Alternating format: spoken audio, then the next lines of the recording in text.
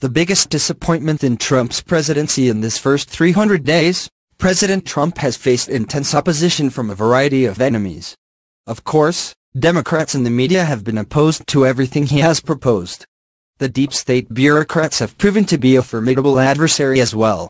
Unfortunately, never Trump conservatives and establishment Republicans have also been very uncooperative. His legislative agenda has been stalled as Obamacare has not been repealed, despite eight years of GOP promises, and the prospect of the tax reform package passing the U.S. Senate looks very questionable. Acting on his own, President Trump has been successful in issuing executive orders and slashing regulations. He has brought a new attitude to foreign relations, trade deals and has shown his unflinching support for our military, both active service members and veterans. Despite an impressive track record of presidential actions, Trump has been needlessly hampered by the ongoing Russian collusion investigation led by special counsel Robert Mueller. It has been like an ominous cloud hovering over his administration. This would have never happened had Attorney General Jeff Sessions not removed himself from all investigations into potential Russian interference in the 2016 election. His action led the Assistant Attorney General Rod Rosenstein to appoint Mueller, who has spent months recruiting a partisan team of Democratic attorneys to join this investigation. The first set of Mueller indictments targeted former Trump campaign manager Paul Manafort, his aide and a low-level national security volunteer. The illegal behavior alleged by the special counsel did not involve the president or Russian collusion. Mueller will not be deterred from issuing more indictments in the days ahead. While these proceedings are supposedly secret, the media was given advance notice of the decision to issue criminal charges. A member of the special counsel's office may very well have committed a crime. It is not a surprise that more leaks are coming out that former Trump National Security Advisor Lieutenant General Michael Flynn may be the next target for the special counsel. At this point, no one knows how long this investigation will last or how much it will cost the American people. In essence, Mueller is operating a shadow Justice Department with Donald Trump in his legal crosshairs. It is little wonder why the president was furious with Sessions, who created this Mueller monster.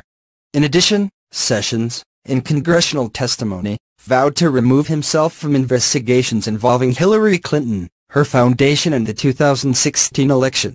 Thus, despite compelling evidence of potential criminal behavior by Hillary Clinton involving the Uranium One deal, the Clinton Foundation fundraising activities, her campaign as suspicious funding of the Trump dossier and her scandalous treatment of top-secret emails, no formal investigation of Clinton has been announced by the Justice Department. Attorney General Jeff Sessions is handicapped by his vows to remove himself from the serious issues that need his attention. While he has been vocal on the issue of combating illegal immigration, he has been unwilling to act on critical matters that impact the survival of the Trump administration.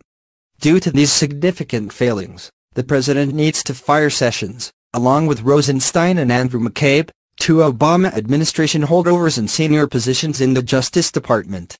A new attorney general should fire special counsel Mueller, who is hopelessly comprised in his investigation by his close friendship with former FBI Director James Comey.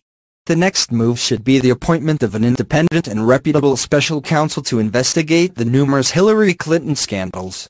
This week, Sessions testified before the House Judiciary Committee and had to admit his recall was faulty on a number of issues. Furthermore, he did not project any confidence that he is up to the challenge of reforming the Justice Department and pursuing the real investigations that are desperately needed in our country. Undoubtedly, Jeff Sessions is a man of character and integrity. However, he lacks the determination, aggressiveness and tenacious attitude that are essential to fight the many forces arrayed against change in the Justice Department. The sooner the president gives Sessions the apprentice treatment and says, you refired, the better.